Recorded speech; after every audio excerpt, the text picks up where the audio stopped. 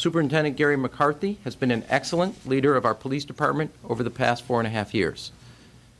His community policing strategy has led to the lowest overall crime rate on record, and his efforts to re- remove guns from the street have yielded significant progress. But Superintendent McCarthy knows that a police officer is only as effective as when he has the trust of those he serves.